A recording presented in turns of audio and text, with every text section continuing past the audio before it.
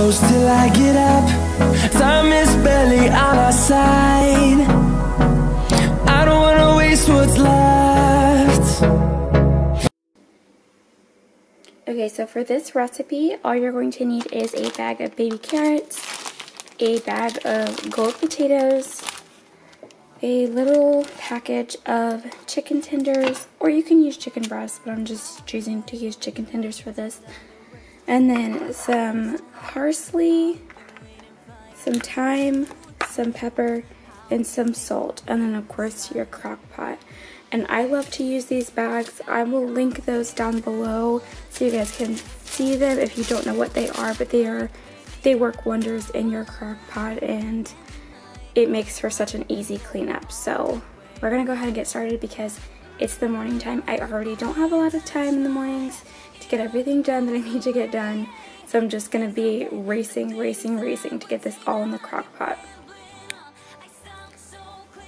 So I totally forgot because these were in the fridge, but you're gonna need a pack of, it calls for salted butter, but I never use salted butter in anything. So I'm using half a cup of unsalted butter and some minced garlic. So however you decide to do that, whether you decide to actually mince your own garlic or use the one from the store, but this is it. This is all that you need for this recipe. Doesn't show, but my nerves are inside out. It's because you're not worth less than perfection. Ooh, thought it was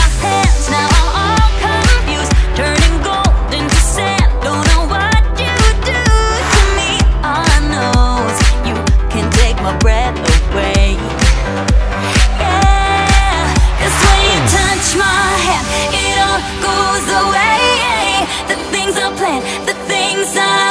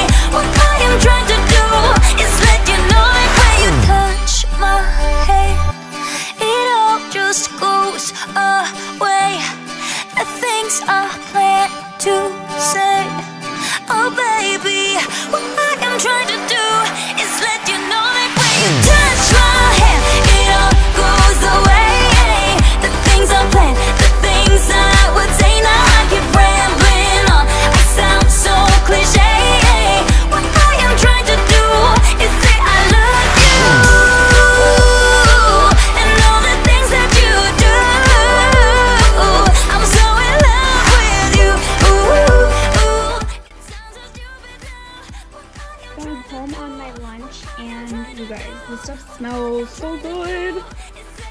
Oh my gosh. It smells so good.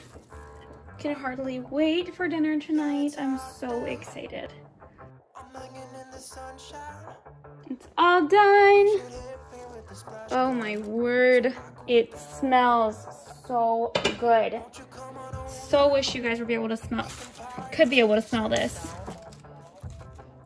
through the screen. Let's get some chicken up here. Oh, the chicken looks so good. And the carrots are all soft. Oh my word. So easy and it looks so good. We can take the roller coaster. And you know